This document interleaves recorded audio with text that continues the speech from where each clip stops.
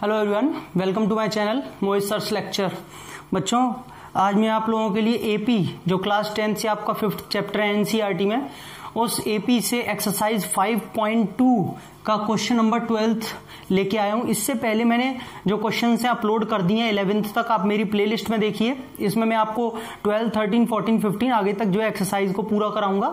देखिए, यहाँ पे क्या दिया हुआ है? Two APs have the same common difference आपको दो एपी दिए हैं, जिनका सेम कॉमन डिफरेंस यानी कि डी सेम है जिनमें। The difference between their hundred terms is hundred उनके सौवे जो टर्म्स हैं हंड्रेड जो टर्म्स हैं, उनके बीच का जो डिफरेंस है, वो हंड्रेड है। तो बताइए उनके थाउज़ेंड जो टर्म्स होंगे वन थाउज़ेंड जो टर्म्स होंगे, उनके बीच में क्या डिफरेंस होगा? बच्चों, आपको ये बताना है। तो सबसे पहले एपी का कॉन्सेप्ट मैं आपको जैसा बता चुका हूँ, फिर भी अगर किसी को नहीं पता है तो आप मेरी प्लेलिस्ट में देखिए इंट्रोडक्शन में मैं सब कुछ दे चुका हूँ आपको। सबसे पहले हम क्या करेंगे? एक काम करते हैं, वैसे तो हमें यहाँ पे कॉमन डिफरेंस सेम दिया हुआ है, पर फिर भी दो एपी हैं तो दो एपी के कॉमन डिफरेंस है तो डिफरेंस के बारे में बाद में बात कर लेंगे, जो हमें गिवन है उससे रिलेटेड बात करते हैं। The difference between their hundred term बच्चों, आपको ये पता होगा एंथ टर्म को कैसे लिखते हैं? सबसे पहले मैं वही फॉर्मूला लिख देता हूँ। A n is equal to जो एंथ टर्म का फॉर्मूला होता है a plus n minus one into d आप सब जानते हैं। अब क्वेश्चन आपको क्या कह रहा है? उनके सौवे टर्म का डिफरेंस यानी कि a hundred minus a hundred लेकिन डैश लगा लो। ये आपको हंड्रेड दिया हुआ है। ठीक है? दोबारा से समझिएगा। उनके जो हंड्रेड टर्म्स हैं मतलब ए हंड्रेड, ठीक है? ऐसे तो डिनोट करेंगे। लेकिन क्योंकि इसमें दो एपी अलग अलग है तो बच्चों, एक एपी को मैंने ए हंड्रेड लिख लिया, एक को ए डैश हंड्रेड लिख लिया है। ये एपी अलग है तो इसको डिनोट करने का तरीका अलग कर दिया है, ठीक है? इनका जो डिफरेंस है डिफरेंस का मतलब माइनस वो हंड्रेड दिया हुआ है।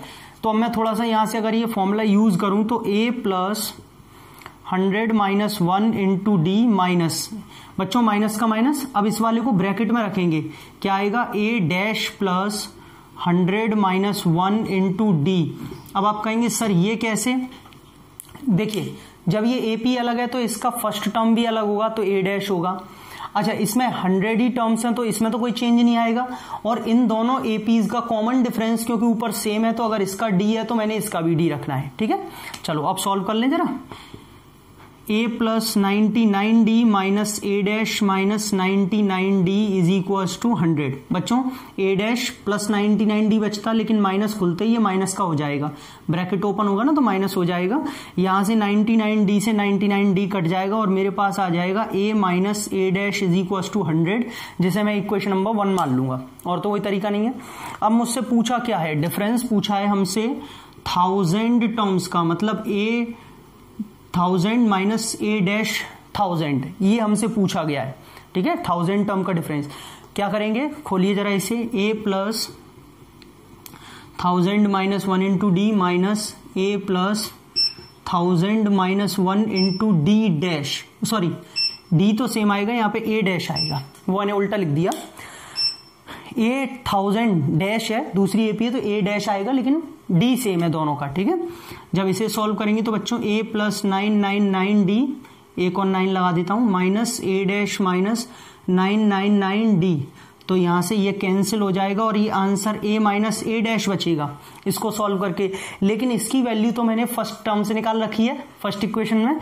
कितनी? हंड्रेड तो बच्चों फाइनल जो आंसर होगा वो इसका क्या आ जाएगा? हंड्रेड आ जाएगा, क्योंकि आप आगे लिख देंगे फ्रॉम इक्वेशन वन मैंने ए माइनस ए डैश की वैल्यू निकाल रखी है हंड्रेड जो मैं यहाँ पे फिर से पुट कर दूँगा। तो इनका डिफरेंस आ रहा है हंड्रेड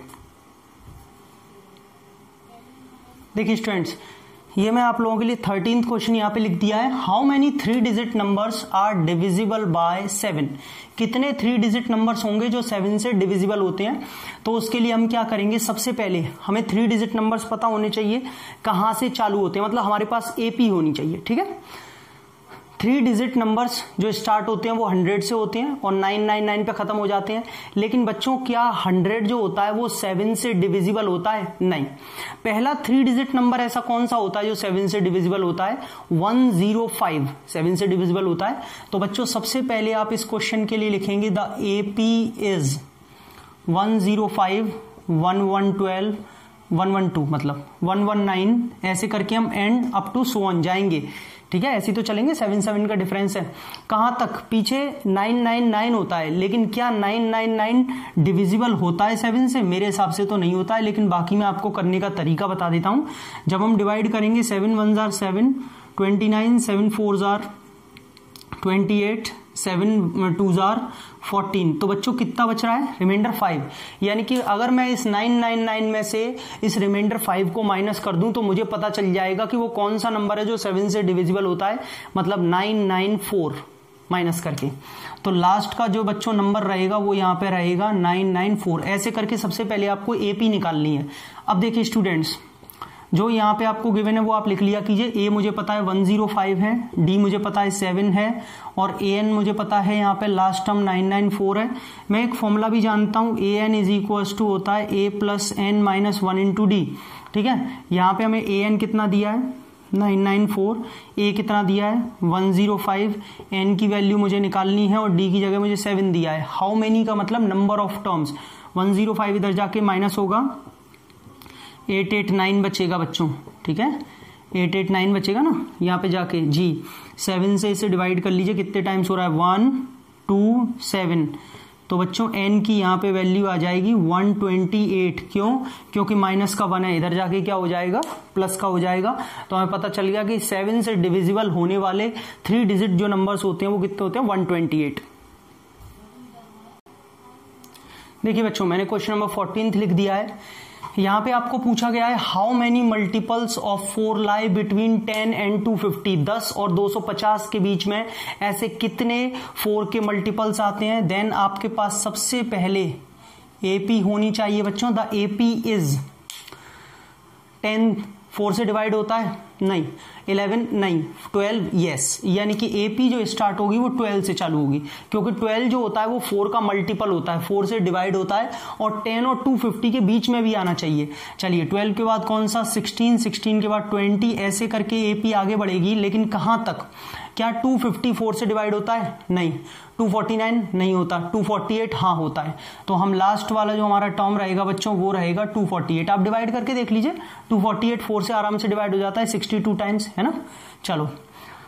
हमारे पास में यहाँ पे ए है 12 डी है हमारे पास में फोर और ए एन है बच्चों 248 ऐसे सारी चीज़ें लिखा करिए आप, फिर फॉर्मूला लिखा करिए ताकि आपको बोर्ड में इसी पे नंबर मिलते हैं, आधा मार्क्स मिलता है फॉर्मूले का, ठीक है? A n is equal to a plus n minus one into d a n की जगह 248 ए की जगह 12 माइनस यहाँ पे आपका 4 12 माइनस हो जाएगा, कितना बचेगा? 236 is equal to n minus one into four four से इसे डिवाइड कर दीजिए। फोर से कितने बार हो जाएगा? Four five jar twenty thirty six four nine jar thirty six n minus one तो एन की वैल्यू आ जाएगी सिक्सटी सही है? ऐसे करके, यानी कि एन का मतलब सिक्सटी ऐसे साठ नंबर होते हैं, जो फोर के मल्टीपल्स भी होते हैं, और टेन और टू फिफ्टी के बीच में लाई करते हैं। देखिए स्टूडेंट्स ये मैंने आपका क्वेश्चन नंबर फिफ्टीन लिख दिया है। यहाँ पे आपको बोला है for what value of n बताइए एन की वो क्या वैल्यू होगी जिसके लिए the nth terms of two APs आपको दो एपी दिए हैं 63, 65, 67 एंड सो ऑन दूसरी एपी है three comma ten comma seventeen and so on are equal बताइए इन दोनों एपीज के लिए कौन सी वो एन की वैल्यू होगी जिनके इनके एंथ टर्म्स जो होंगे वो इक्वल होंगे ठीक है? एंथ टर्म्स तो बच्चों, हमें एन की वैल्यू फाइंड आउट करनी है। एंथ टर्म्स हमको इक्वल बोला हुआ है तो मैं लिख लेता हूँ a n is equal to a dash n ठीक है? ए के पी मैंने ए एन मान ली ए के पी का लास्ट टर्म मैंने ए डैश से डिनोट कर दिया। दोनों ए पी अलग है ना?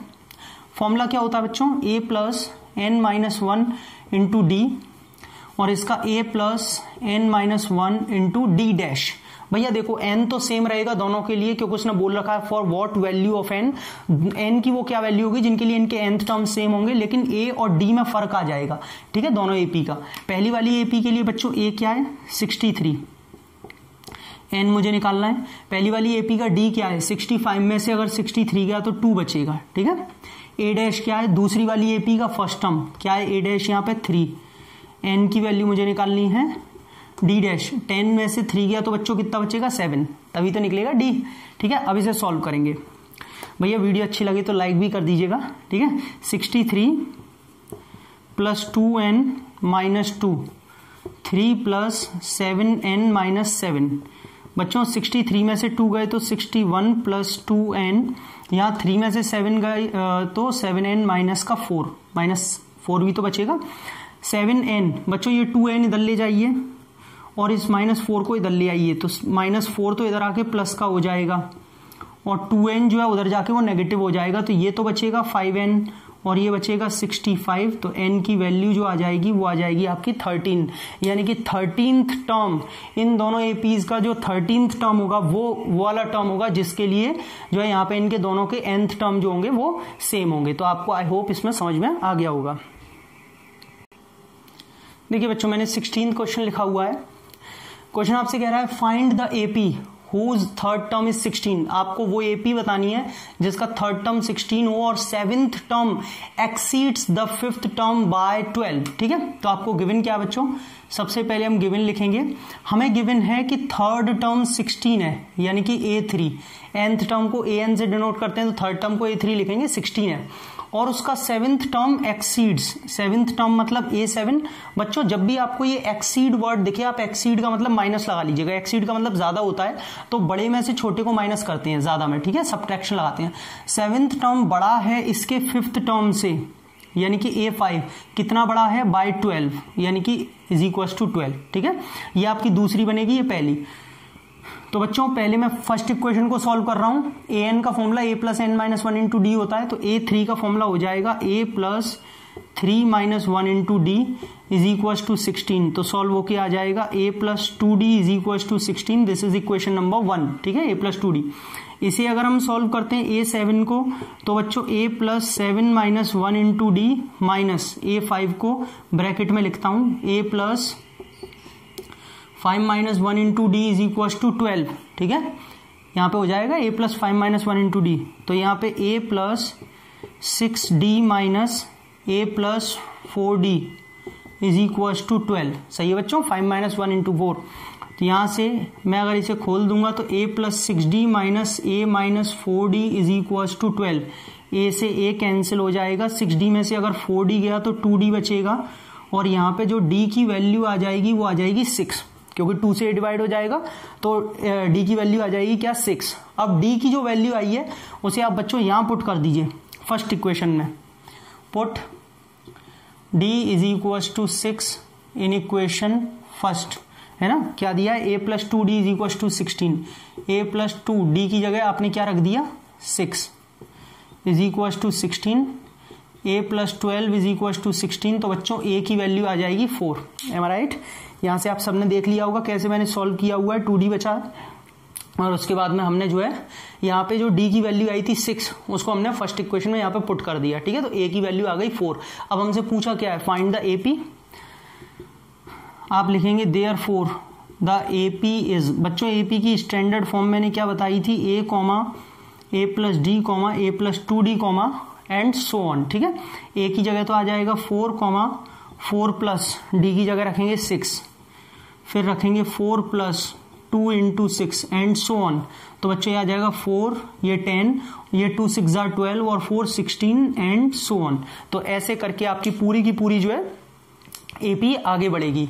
तो आपकी एपी ऐसे निकालते हैं। एपी जब भी बच्चों आपको निकालनी हो, समझ जाइए, आपके पास में ए होना चाहिए और डी होना चाहिए। ए और डी निकाल लिया तो आप उसके बाद में स्टैंडर्ड फॉर्म लगाएँगे और यहाँ पे आप एपी को निकाल लेंगे, ठीक है? क्वेश्चन नंबर सिक्सटीन हो गया ये वाला। देखिए बच्चों, ये सेवनटींथ क्वेश्चन मैंने यहाँ पे लिख दिया है। क्वेश्चन कह रहा है find the twentieth term from the last term of the AP आपको एक एपी दी है। इस एपी में आपको पीछे से लास्ट से ट्वेंटियथ टर्म फाइंड आउट करना है, ठीक है? देखिए, सबसे पहले स्टूडेंट्स हम गिवन लिखेंगे। हमें ए दिया हुआ है थ्री हमें डी दिया हुआ है फाइव और हमें ए एन दिया हुआ है टू फिफ्टी थ्री चाहिए ना? ए थ्री दिया हुआ है डी का मतलब कैसे निकालते हैं डी एट माइनस थ्री, यानी कि फाइव, और लास्ट टर्म दिया हुआ है टू फिफ्टी थ्री अब देखिए बच्चों, इसके लिए मैंने आपको एक डायरेक्ट फॉर्मूला बताया था। जैसे हम एंथ टर्म निकालते हैं nth term from the last term इसके लिए मैंने एक आपको डायरेक्टली फॉर्मूला बताया था कि अगर पीछे से लास्ट टर्म से हम कोई भी nth टर्म निकालते हैं आगे के लिए तो उसका फॉर्मूला होता है l minus n minus one into d अब आप कहेंगे, सर एल क्या होता है? तो इससे अच्छा मैं ए एन लिख देता हूँ, ठीक है? इससे अच्छा मैं ए एन लिख देता हूँ। बच्चों ए एन का मतलब लास्ट टर्म होता है और एल का मतलब भी लास्ट टर्म होता है। एल जो है वो आर एस अग्रवाल में एक, जो है डोनेट करने डिनोट करने के लिए तरीका है। ए एन को डिनोट किया जाता है एल से। तो चलिए ए एन की जगह हम फॉर्मूला लगा लेंगे 253 ए एन की जगह तो 253 रख दिया माइनस एन की जगह बच्चों, आपको कौन सा निकालना है? अच्छा मैं आगे लैंग्वेज लिख देता हूँ, मुझे ट्वेंटियथ टर्म निकालना है, ठीक है? ट्वेंटियथ टर्म फ्रॉम लास्ट, मैंने ऐसे करके लिख दिया है। दूसरी चीज़ एक मैं बात और आपको बता दूँ, इसे गलती से भी आप ए ट्वेंटी मत लिख लीजिएगा, क्योंकि ये ए ट्वेंटी का मतलब होता है आगे से निकालना। पीछे से निकालते हैं तो पूरी लैंग्वेज लिखते हैं twenty term from the last term तो बच्चों ए एन की जगह तो टू फिफ्टी थ्री आ गया, और एन की जगह जो है, जो टर्म निकालते हैं वो लेते हैं। तो एन की जगह आ जाएगा ट्वेंटी माइनस वन और डी की जगह हमें यहाँ पे कितना दिया हुआ है? फाइव दिया हुआ है, ठीक है? तो ये हो जाएगा two fifty three minus nineteen into five तो 253 माइनस का आ जाएगा बच्चों ये 95 19 इंटू फाइव नाइन्टी होता है। जब 253 में से 95 माइनस करेंगे तो कितना आ जाएगा? 158 आ जाएगा। मैं एक बार फिर भी चेक कर लेता हूँ। वैसे तो मुझे पता है सही आएगा, लेकिन फिर भी आपको करके भी दिखाता हूँ। 13 में से 5 गया 8 14 में से 9 गया तो जी। 158 तो बच्चों, इसका जो आंसर रहेगा, वो क्या रहेगा? 158 यानी कि पीछे से अगर आप इसमें ट्वेंटी टर्म निकालेंगे तो आपको मिलेगा 158 देखिए बच्चों, मैंने ये क्वेश्चन नंबर 18 था आप लोगों के लिए लिख दिया है, यहाँ पे क्वेश्चन दिया हुआ है। The sum of the fourth and the eighth terms of an AP is 24 बच्चों, बहुत इंपॉर्टेंट क्वेश्चन है, बहुत ज़्यादा इंपॉर्टेंट क्वेश्चन है। एग्ज़ाम्स में इसके आने के बहुत ज़्यादा चांसेस रहते हैं। आपको बोला हुआ है कि जो एक एपी है उसके फोर्थ और एट्थ टर्म्स का जो सम है, वो आपको 24 दिया हुआ है। And the sum of six and tenth terms is 44 और उसके सिक्स और टेंथ टर्म का जो सम है, वो 44 दिया हुआ है। Find the first three terms of the AP AP के पहले तीन टर्म्स बताइए, क्या होंगे? अब देखिए, सबसे बड़ी चीज़ क्या है? इसमें कुछ बच्चे बहुत गलती करते हैं। वो क्या सोचते हैं कि इन्हें सम दिया है तो वो एस एन का फॉर्मूला लगा लेते हैं। एस एन का फॉर्मूला जो sum of n terms of AP होता है n upon two two a plus n minus one into d बच्चों, इसमें वो नहीं लगेगा। आप कंफ्यूज ना हो। इस सम का मतलब सम ऑफ़ एन टर्म्स नहीं दिया है। इस सम का मतलब आपको एडिशन वाला सम की बात कर रहा है, ठीक है? सम ऑफ़ एडिशन किस किस का एडिशन फोर्थ टर्म और एट्थ टर्म का। उस एपी के फोर्थ और एट्थ टर्म का जो सम दिया है। तो चलिए स्टार्टिंग कैसे करेंगे? गिवन आपको a four plus a eight इन दोनों का जो है सम दिया हुआ है ट्वेंटी फोर ऐसे करके, समझ में आ रहा है? सम की वजह से एडिशन आ गया। किस किस का फोर्थ और एर्थ टर्म का। Fourth term a four eighth term a eight और कितना दिया है? ट्वेंटी फोर पहले बच्चों, मैं इसे सॉल्व कर लेता हूँ, दूसरी इक्वेशन में बाद में बनाऊँगा, ठीक है? ए एन का फॉर्मूला होता है a plus n minus one into d तो इस हिसाब से a plus four minus one into d और ये हो जाएगा a plus eight minus one into d is equal to twenty four समझ में आ रहा है सभी को? ए और ए कितना हो जाएगा बच्चों? टू ए यहाँ से ये फोर माइनस वन यानी कि थ्री डी बचेगा और यहाँ से ये eight minus one seven d seven d और थ्री डी टोटल हो जाएँगे ten d is equal to twenty four this is equation number one again अब क्या करेंगे? आपको अब दिया हुआ है सिक्स और टेंथ टर्म का जो है सम यानी कि ए सिक्स और ए टेन सिक्स और टेंथ टर्म का जो सम है, वो फोर्टी फोर है। मतलब a plus six minus one into d plus tenth term के लिए a plus ten minus one into d is equal to forty four बच्चों ए और ए फिर से टू ए आ जाएगा। ये सिक्स माइनस वन आपका फाइव डी ये नाइन डी टोटल हो जाएगा फोर्टीन डी ठीक है? नाइन और फाइव फोर्टीन डी ये आपका आ जाएगा इक्वेशन नंबर टू अब आप क्या करेंगे? Solve equation one and two पहली और दूसरी इक्वेशन को सॉल्व करेंगे आप। ठीक है? किससे? एलिमिनेशन से कर लीजिए, बहुत सिंपल है। यहाँ लिख देता हूँ। Two a plus ten d is equal to twenty four. पहली इक्वेशन ये दी है, दूसरी आपको एंड दी है two a plus fourteen d is equal to forty four यही तो दी हुई है बच्चों। चलिए, अब देखिए, यहाँ पे एलिमिनेशन आप सबने सीखा हुआ है। मैंने सब्ट्रैक्शन किया साइन चेंज कर दिए। इससे कैंसिल हो जाएगा। टेन डी में से अगर फोर्टीन डी जाएगा तो ये बचेगा माइनस का फोर डी और ये बचेगा माइनस का ट्वेंटी ट्वेंटी फोर में से फोर्टी फोर जाएगा। हम्म? डी की वैल्यू आ जाएगी आपकी कितनी? फाइव डी की वैल्यू फाइव आने के बाद में आप इसे कहीं भी पुट कर दीजिए बच्चों। फ़र्स्ट में पुट कर देता हूँ मैं, ठीक है? Put d is equal to five in equation one पहली इक्वेशन में डी की वैल्यू फाइव पुट करूँगा मैं तो two a plus ten into five is equal to twenty four तो बच्चों, ये हो जाएगा two a plus fifty is equal to twenty four ये हो जाएगा two a is equal to minus का ट्वेंटी सिक्स और ए की वैल्यू आ जाएगी माइनस का थर्टीन। सही है? भाई ये 50 हुआ, उधर जाके माइनस हो गया, ए की वैल्यू आ गई 13 अब बच्चों, आपसे जो उसने पूछा है, वो आपसे पहले थ्री टर्म्स पूछा है और आप एपी के पहले थ्री टर्म्स जानते हैं कि एपी के थ्री टर्म्स क्या होंगे।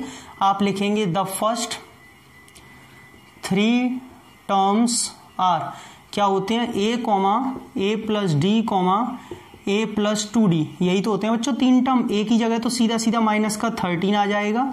माइनस थर्टीन प्लस डी की जगह आपका आ जाएगा फाइव ये आ जाएगा minus thirteen plus two into five, ठीक है? यानी कि माइनस थर्टीन, ये बचा माइनस का एट, टू फाइव जार टेन टेन में से माइनस थर्टीन, यानी कि माइनस के थ्री। तो ये पहले तीन टर्म्स आपके ये आ जाएँगे। पूरी एपी पूछी होती तो एंड सोन लगा के और आगे बढ़ा देते, समझ में आ गया? तो आई होप आपको ये वाला क्वेश्चन बिल्कुल क्लियर हो गया होगा। तीन टर्म्स पूछे थे और बहुत इंपॉर्टेंट क्वेश्चन है, ठीक है? जब भी ऐसा क्वेश्चन मिले, दो एक क्वेश्चन बनानी है, सॉल्व करना है एडी निकालना है, आंसर निकालना है। देखिए स्टूडेंट्स मैंने नाइनटीन क्वेश्चन लिख दिया यहाँ पे। नाइनटीन में आपको बोला है, Subba Rao started work in 1995 कोई सुब्बा राव हैं? उन्होंने 1995 में अपना वर्क स्टार्ट किया था at an annual salary of rupees five thousand पाँच हज़ार रुपये उन्हें जो है साल की सैलरी मिलती थी, ठीक है? उसके बाद उन्होंने बोला है and received an increment of rupees two hundred each year और उन्हें दो दो सौ रुपए हर साल बढ़ जाया करती थी उनकी सैलरी पाँच हज़ार के बाद में पाँच हज़ार दो सौ, पाँच हज़ार चार सौ, पाँच हज़ार छह सौ ऐसे बढ़ जाया करती थी दो दो सौ रुपए बताइए किस साल में उनकी सैलरी सात हज़ार हो जाएगी, ठीक है? तो बच्चों, आपको यहाँ पे जो फ़र्स्ट है ए है, वो फाइव थाउज़ेंड दिया है जो गिवन है ए फाइव थाउज़ेंड दिया है इंक्रीमेंट बच्चों 200 हो रहा है। यानी कि वो आपको डी दे दिया है। बढ़ रहा है ना? एक कांस्टेंट रेट से बढ़ रहा है, दो सौ रुपए तो वो आपका डी हो गया। और 7000 फाइनली पहुंचेगी। यानी कि ये आपका ए एन दे दिया है। आपसे नंबर पूछा है, किस साल में? यानी कि नंबर ऑफ़ ईयर आपको बताना है, कौन से नंबर में? तो a n is equal to a plus n minus one into d यानी कि seven thousand is equal to five thousand plus n minus one d की जगह आ जाएगा दो सौ। पाँच हज़ार इधर जाके माइनस हो जाएँगे तो टू थाउज़ेंड बचेगा। और बच्चों, हम 200 से इसे जब डिवाइड करेंगे तो 10 आ जाएगा और n की वैल्यू यहाँ से निकल के आ जाएगी 11 यानी कि इलेवेंथ ईयर वो ईयर होगा, वो साल होगा, ग्यारहवां साल जिसमें सुब्बा राव की जो इनकम है वो सात हज़ार पहुँच जाएगी सैलरी जो है, साल की, ठीक है? तो बच्चों, ये पूरी एक्सरसाइज 5.2 खत्म हो गई। इसके बाद एक ट्वेंटी क्वेश्चन और भी है, रामकली जो भी है। लेकिन वो क्वेश्चन बिल्कुल सेम है, इसी की तरह, बिल्कुल सेम तो आप उसे कर लेंगे, मुझे पूरी उम्मीद है। तो आपकी ये फाइव एक्सरसाइज एपी की पूरी खत्म हो गई। अगर आपको अच्छी लगी हो ये वीडियो, समझ में आई हो तो प्लीज़ मेरी वीडियो को लाइक करें शेयर करें, ज़्यादा से ज़्यादा और भी बच्चे फ़ायदा उठा पाएँ। और प्लीज़ मेरे चैनल को सब्सक्राइब कर लीजिए, बिल्कुल फ्री ऑफ़ कॉस्ट होता है। बेल आइकन को हिट कर दीजिए, ताकि आपको नोटिफिकेशन तुरंत पहुँचे। और मेरे डिस्क्रिप्शन में भी देख लीजिएगा। मैं अपने कुछ पेजेस का लिंक दे दूँगा, जहाँ आप मुझे ज्वाइन कर सकते हैं। एंड प्लीज़ वीडियो को लाइक करना ना भूलें। लाइक ज़रूर करें। Thank you so much